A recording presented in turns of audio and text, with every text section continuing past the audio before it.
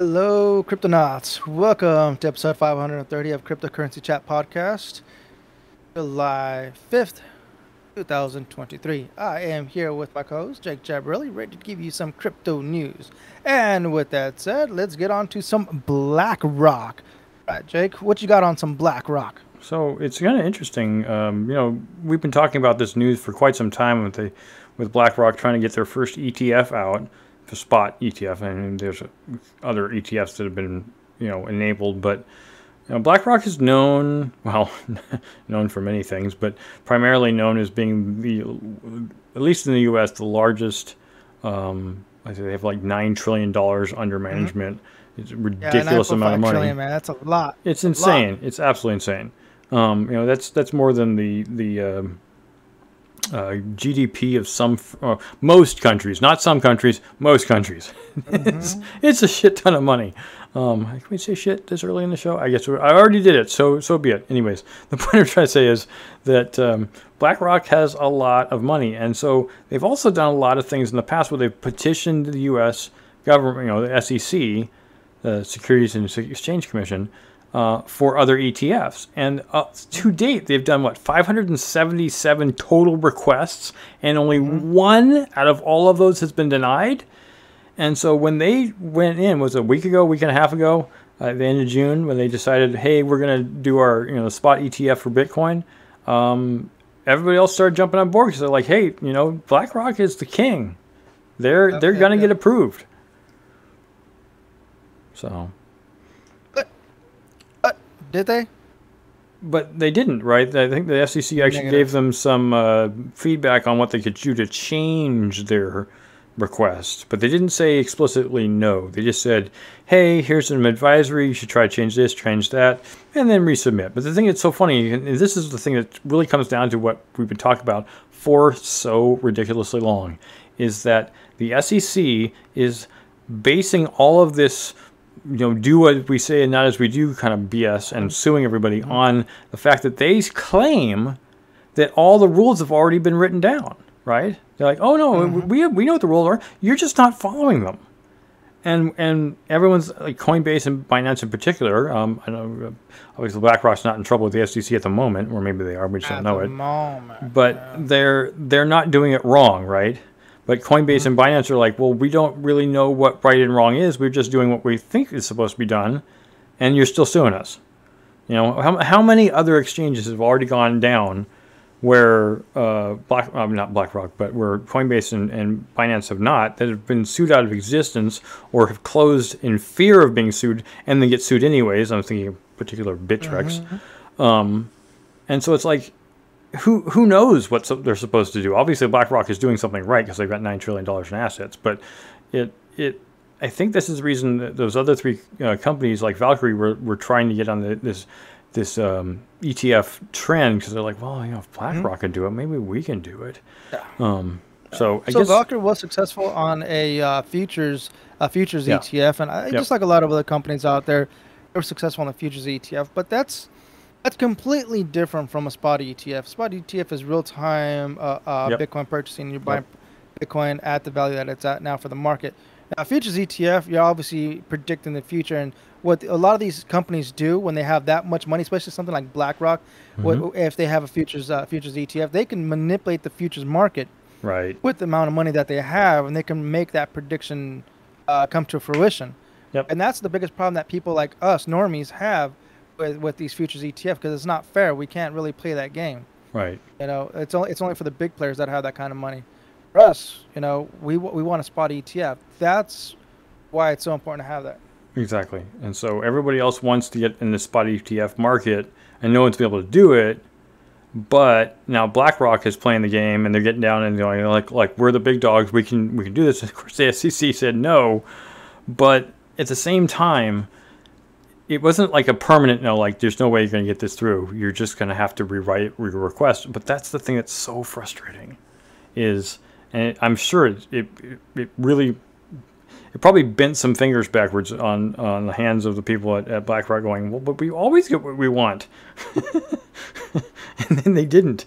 And it's because the sec just isn't willing to bow to what crypto really is. Mm-hmm. so i it Go ahead. Isn't it weird? You know, uh, the CEO Larry Fink.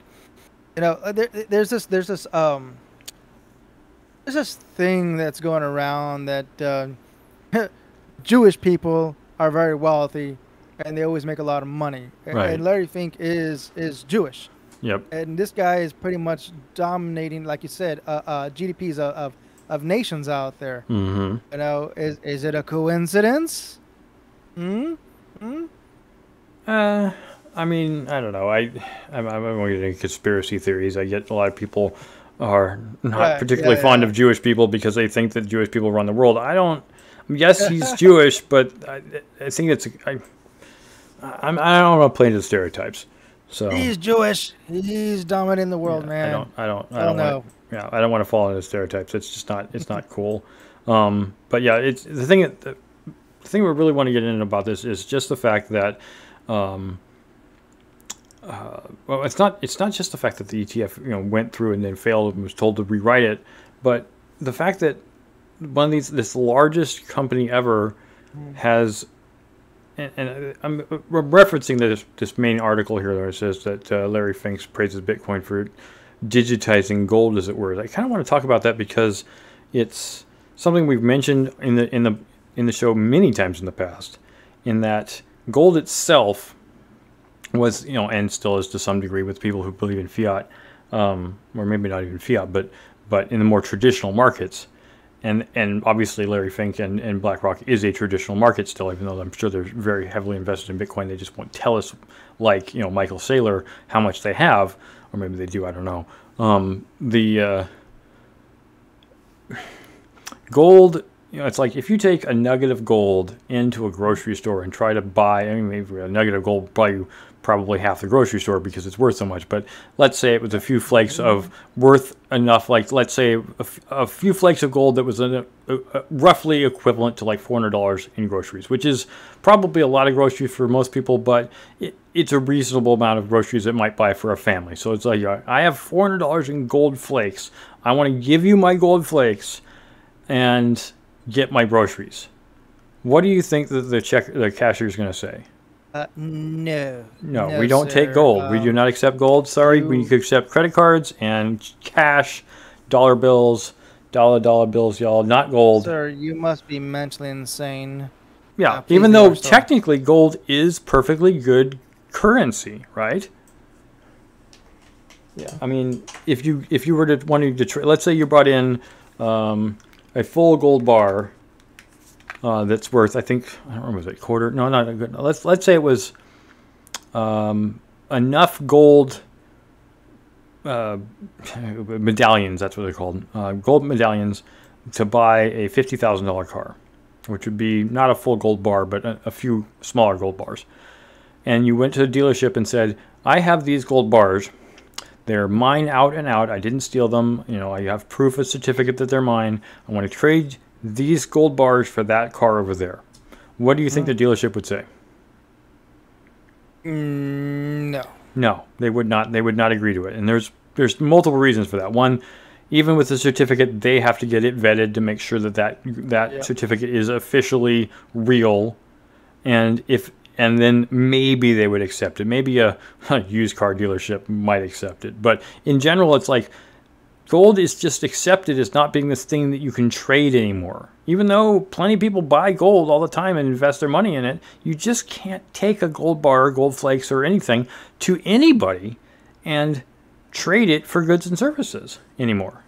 Even though we technically still use gold, you know. Here's a really actually good quote in the article from Larry Fink mm-hmm. says, I do believe the role of crypto is digitizing gold in right. many ways, said right. Fink.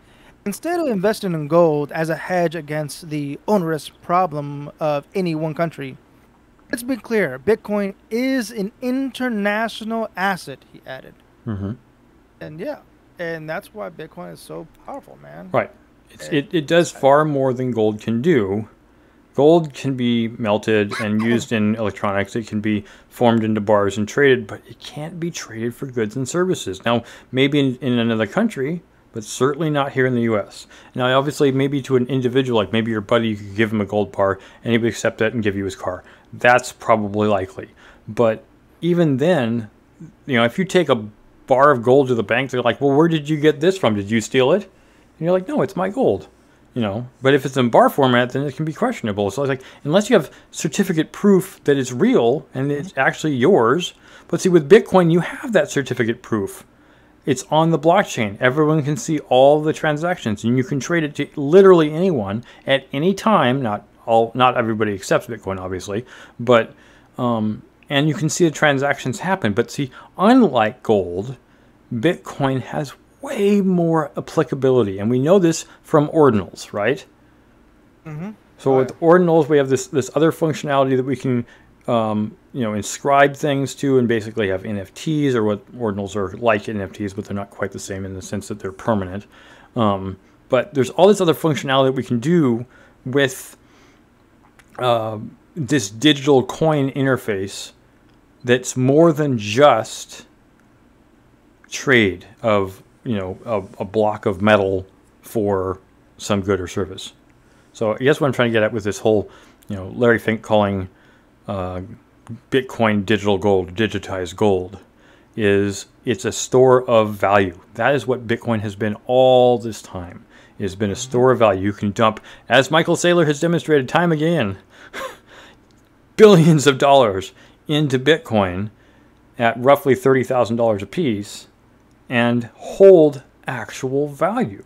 You know, his company was what, what's the current was he had 100 and they bought 12,333 recently and they already had 130,000 so he's, he's up to like um 155 100 is 150 I thought it was 142,000 anyways whatever it's oh, yeah, over right. 142,333 Bitcoin worth four and a half mm-hmm. US dollars wow um and that's a store of value anybody can and in fact, this was, I remember it was, a, what, 2016 or 2015 or something. Somebody bought a house in Tahoe, Tahoe, California, using Bitcoin. And yeah. the, house, the house at the time was like 20 something million dollars. And they, tr- I, don't remember, I don't remember what the price was. Maybe it was half a million dollars.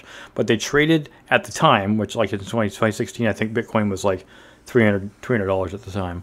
Um, yeah, they traded you can use, uh, you can use BitPay, uh, bitpay.com to pretty much buy a house right now. Right now. Right, right. Anybody can buy a house right now with Bitcoin. Yeah. Yeah, because uh, you can use crypto, Bit, BitPay to make the make the exchange, right? Yeah, yeah, exactly. And BitPay is a, a super trusted. Uh, um, uh, what, what, would you call it? A clearinghouse? Clear, no, yeah, it's, um, it's, a it's a kind wallet? of exchange. It's kind of an exchange yeah. in a sense. Yeah. It's it's um, a it's also, a fiat to crypto exchange is what it is. It's not so much a like exchange of cryptos, but also, cryptorealestate.cc is another one. Uh, there's, a, there's a few sites uh, that you can buy a property with, with, with Bitcoin, which is right. Come on, man. People are always asking me, "It's like, what can you buy with Bitcoin? Why are you investing in Bitcoin? It doesn't make sense. That's just the uh, internet money. You can't do anything with it. You're just trying to invest into a pyramid scheme." It's like, no, no, bro. Like, you can literally go out. You know, you can tether your your your Bitcoin or your crypto into a Visa card if you want into a Visa card, you know, and and make daily purchases with it. You know, if you if you like tap to pay, link up your Bitcoin, uh, your crypto Visa card to your to your tap to pay device, and go out there and tap to pay. And the, your crypto, you're literally buying things with your your crypto. And people are like, no, no, no, no, no. That's that's that's not how it works. No. Like, dude, that's that's literally legitimately yeah. how it what works. We, what uh, we probably need to do at some point is actually go out in public using BitPay and show people that it actually does physically work. I know you're yeah. not you're not you're stack sats and hodl forever with Bitcoin, so you're probably not be able to do it with Bitcoin. But uh, um, I probably could do it. I have some Bitcoin I could use, but you know, satoshis or something. You could use it through through a Cash App. We've talked about this before. You know, yep, send yep. send your send your buddy some some satoshis. You know, even if you're going to do it through what what's it called, Fountain. Um, mm-hmm. Send somebody some some satoshis just because you can. I mean, satoshis aren't worth a whole lot in fiat right now, but at least one one satoshi is worth a fractional penny. But I guess what I'm trying to say is that where are you going, dude? um, yeah, I know this is getting used to the avatar. Sorry, everybody, we're we're still, we're still settling in on our avatars here. Um, we may not do this permanently, but it's it's still kind of a concept. We're trying to figure out how to get more interactivity. There you go, dancing. Yeah, he's dancing on his chair. so, um, anyways, when it comes to um, uh, what BlackRock is doing right now, as I mentioned before, with uh, them trying to set up an ETF, is that he's kind of confirming. And it's funny to see a person worth so much money and not be Warren Buffett um, recognize. And I know Elon Musk is the second richest guy in the world, so of course he recognizes Bitcoin and and other altcoins like Doge um, as being valid. But I, I, I have to take Elon Musk's commentary with a grain of salt because he's kind of a weirdo. Um, not that I'm not a weirdo, but he's a different kind of weirdo. Um, and uh, but to see a person who's quote unquote more respected within the within the uh, traditional finance community, like Larry Fink, uh, comment on Bitcoin as being legit, gives people that are more traditional more of an idea that Bitcoin might actually be legit if this man is interested in doing it. So he's he likes money. It's pretty clear, and it's just a way for him to, to kind of solidify the fact that crypto could be where they go next. It'd be interesting to see them dump, you know, um, five billion or ten billion dollars of their investment funds into crypto if they haven't already. Yeah. So. So I got. Uh, you can see this article here. BlackRock refiles for Bitcoin ETF after SEC flags flaws. Mm-hmm. That's uh, like like like Jake was saying. That's a really good sign, man, for that spot ETF. They really want it, and now they uh, got some oversight from the SEC on what to add or what to correct. Right. It wouldn't surprise me if it actually goes through, and that's what everyone's waiting for right now. So the market's going up and uh, I would say up and down, right? Like one percent up and down. What, what, have you been? Have you been watching the market lately? I know it went down a bit. I know my, my one of my wallets. I was keeping like a bunch of it right? did when, yeah, Bitcoin itself didn't go down much. Actually, my Verge went up forty percent. I was like, holy crap, Verge is. I mean, it, it still hasn't reached like altcoin season. It hasn't. Yeah, it's kind of altcoin, but it's been random altcoin. Okay, it's like this mm-hmm. altcoin, then that altcoin, then this altcoin, then that altcoin. Bit, you know, Litecoin went way up, and then it fell down a, a little bit, and then. And then and then uh, Bitcoin Cash you know Bitcoin Cash skyrocketed and then it fell back a little yeah. bit too, and it's like, yeah. what is going on out there? You know, somebody's just like, we need to dump into altcoins because like the market went up a lot, even with Bitcoin, but it went up way more with altcoins than it did with Bitcoin. And I think it's because people are just feeling it out, trying trying to figure out where they can put their money and make a boatload overnight. So I don't know. I don't know how that's going to work. Um, but yeah, it's. I'm pretty sure that BlackRock, unless they try like 10 or 12 times and don't get through with the SEC, I think they're really pushing the SEC it feels like they're trying to bully the SEC where the SEC is bullying everyone else. Um, so we'll see if they can actually pull it off. It'd be yeah, that would be amazing, wouldn't it? There you go. You're testing your mm-hmm. avatar out. Um, yeah. I. It, it feels like the third run is on the horizon, right? Mm. And the third run, as predicted by the Winklevoss twins, is supposed to make Bitcoin run to over 125,000 US dollars. Nice. So nice. four times is it four times where it is? Yeah, roughly four times where it is right now, and we'll wow. surpass the last run, you know, by double because that's what everyone predicted. Now they're saying this isn't supposed to happen until late 2024, early 2025. I'm mm-hmm. fine if it takes that long, but as long as it's a long ramp, because we already know that Bitcoin can fall overnight. but um, yeah, if I. It's, it would be very interesting to see how much of a bull run hits if BlackRock does actually get its its uh, spot ETF. If it does, I mean, do you want to call it now? Do you want to see? You want to see if we can call the, the price it'll hit after the uh, Ooh, spot um, hits? If it does hit. If it does hit, I feel like um in the, in the short term 35k. Not much of a movement, not yet. Not until okay. the halving, which is coming up in like eight months. Really? After the halving, so the halving, the Bitcoin halving is in April mm-hmm. of next year. Right. Right. That's I would consider that like right around the corner, and I think that's what a lot of people are waiting for the real boom to go up. Hmm. This particular halving, I don't know if you if you noticed. I'm sure you noticed. We've been doing this pretty much every single day, yeah. and we, have noticed that there's hasn't been really a big boom, like a real bull market. You know, like the 2017 uh, bull market. Right. A lot of people, uh, a lot of people are waiting for that. Uh, but I, I feel like the next halving will be that. And of course, I'll keep saying that until it actually happens. Every single halving. Yeah. well, I mean, but that was uh, right. So the it's a technical analysis that people are using right now and have been since the last boom, and they're just mm. They're just drawing a straight line, a, a cur- well, a straight line. It's it's a vertical line from the first boom to the tip of the second boom to the predicted tip of the third boom and that's the reason they've been. The people have said it's going to be about 125,000, um, and it could be more than that. I no way of knowing until we get to that point. But I mean, hell, we didn't. Even, we did, nobody, nobody could have explicitly predicted the first two. So. yeah, yeah, um, exactly. That's so, why I, am like just lowballing it. 35k, even though it doesn't sound like much. I I still don't. Honestly, think. I mean.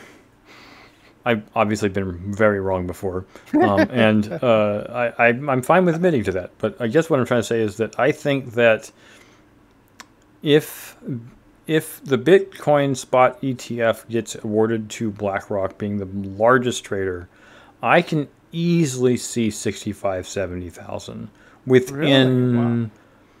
wow. a month or two. Really? I don't wow. think it will happen all at once, but I think, I mean, there will be a massive investment right off the bat because people will be like, oh my gosh, we can get in now. But then everybody else will still pile in. You'll, you'll get all the other ETFs, assuming that well, everybody yeah, who I mean, failed the, in the okay, past. So, yeah, so if the uh, if the other ETFs, uh, uh, sorry, if the other companies that are filing for spot ETFs right on the back of, uh, uh of, of BlackRock, if they also all go through, oh yeah, dude, we're we're we're hitting 100k, man. Yeah. Uh, it wouldn't surprise me, you know, like you, all these companies, because that's a lot of money that's gonna be flowing in. So if BlackRock can can perfect whatever the SEC is requesting, mm-hmm.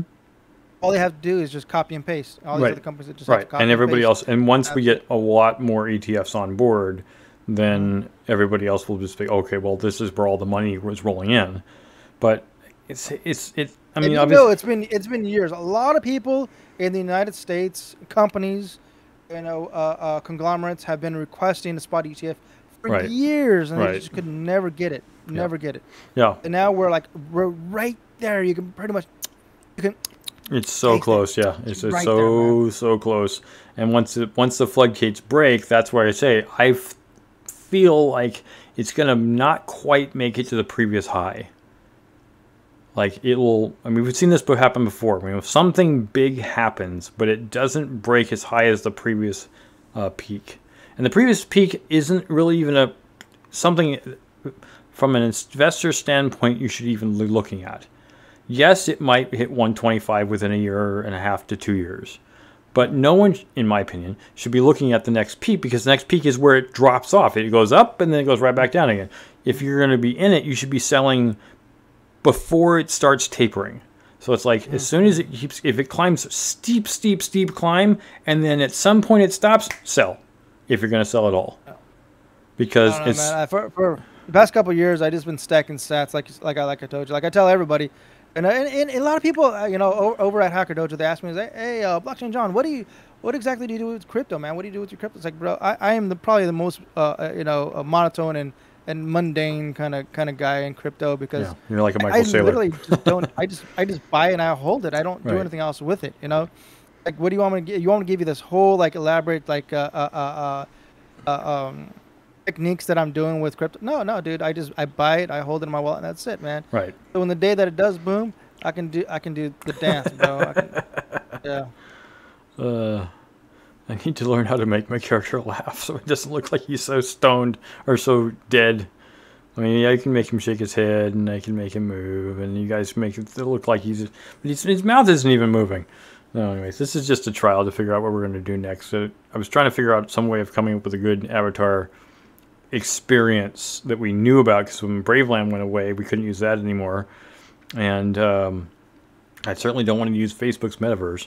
Um, so what could we use that would be legit, sort of legit looking? And this is yeah, and this, this is what I remember. Been improved. Yeah, this has got a lot better. A lot. So yeah, it's um, still not, it's not the best, but uh, there's still some some improvement that needs to be yeah. done. But and if people are wondering why better. why we're doing this, it's because John and I are in separate places, and I don't like to be on camera. I, I don't mind admitting that my my my character I've never my previous channel I was never on camera. Nobody seemed to give a boo, you know, give a hoot about that. So I just I'm just maintaining that that look, and I'm just going. This is not even close to what I actually look like in real life. So this is just the randomized character I created for this this test trial run that we're doing with with this uh, different format we're running with. So we hope you guys are cool with it. But actually, the neat thing is you can probably actually you can't see it in the the cameraman's perspective, but there's a huge audience sitting out here. I don't know if I can zoom him out real quick so you guys can see it. Let's see if we can do that real quick. Yeah, there we go. There's this huge audience space that anybody can come in and, and sit with us and, and, and, listen to our podcast. So I think it would be kind of neat if we could do that, if we could get people uh, in the audience. So yeah, we wouldn't just be looking at actually, a camera. you know what's cool is I, I think we can actually mute people in the audience. Yep. So just us talking, so we can invite people to come in. Yeah. The only thing we can't do is make sure they don't up, they don't stand on the stage. Remember how Braveland did that? Braveland could keep oh, people yeah, off yeah. the stage.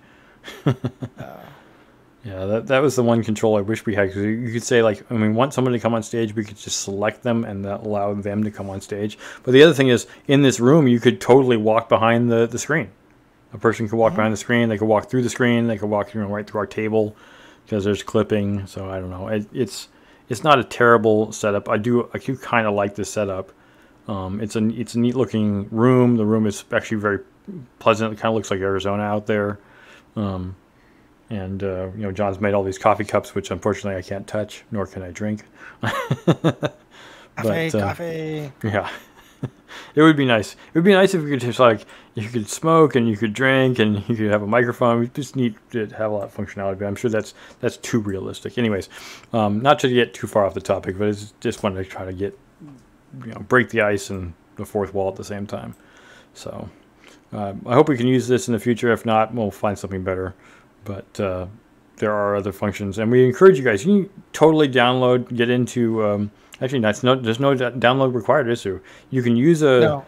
A, um, just uh, browser based. Yeah, you can use a virtual interface of a VR headset if you want to uh, join in this interface, or you can just use a browser, and it's free. Just you know, sign up however you want to sign up, and you can uh, join us in the audience, and that would be great. I mean, not that not that Twitch is bad obviously, a lot of people like like uh, watching on Twitch. You don't want to necessarily have to control an avatar just to be able to participate. Um, you might well just be like, um, there's, where's the comment if, if section, guys, right? If, if, you guys do join us, make sure make sure you guys give me the dance, all right? Right. We need the dance, bro. we need the dance. Okay. So, anyways, um, yeah, it, I think this is a good start. I'm glad that we could um, I still feel like, like I'm a little bit nervous about what's going on just because I'm still not used to the interface. Um, still still got to figure out how to move our characters so we don't look like we're jerking about all over the place. John's doing that right now. um, it's kind of weird. It would be nice if you could give a thumbs up without having your character stand. That'd be nice, wouldn't it? Um, actually, I think. Can you do a thumbs up? Yeah. See, oh, you yeah. stood up. It's just dumb. Why would? You...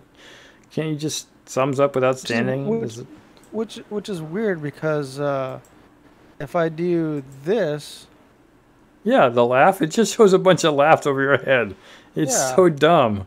Uh, I don't know. I don't know. Yeah, there you go. Clapping. Anyways, all right. So, um, thanks everybody for joining us. I don't really have any more uh, news at the moment. We just wanted to talk about BlackRock and uh, how things were going with that. Uh, this is more the the politics and business episode. Wednesdays will be politics and, uh, politics and business, and uh, what other uh, topics we want to talk about regarding that explicitly. It doesn't have to be the stuff that's on the screen behind us, but um, and then on Sunday nights we're going to start doing gaming news. Hopefully, we're going to work out the bugs and uh, get you some better content and better you know visualizations, and maybe we'll pay for this account. I don't even know yet. Um, so this is kind of be kind of like what the new format's going to be. You know, visual behind us and uh, avatars in front of us, likely unless we can get someone else working. So, I would, I would, I really would like to have an avatar where you can actually see the mouth talking or the mouth moving, not just uh, a. Oh shoot! Uh oh. what are you Whoops. doing there, John? I don't know what I did. Uh, you moved the screen in front of us. Move the screen back. You're blocking the screen. Oh man. Oh well. All right. Well, we're going to end this anyway. So that's uh that's the first uh, first attempt here at episode 530 on Wednesday, July 5th. Thank you all for joining us. Um, we're gonna be you know plugging things, and you can check us our our Cointree when you like. So next time, uh, stack. And until next time, stack sats and hodl. Stats and hodl. Adios. Adios.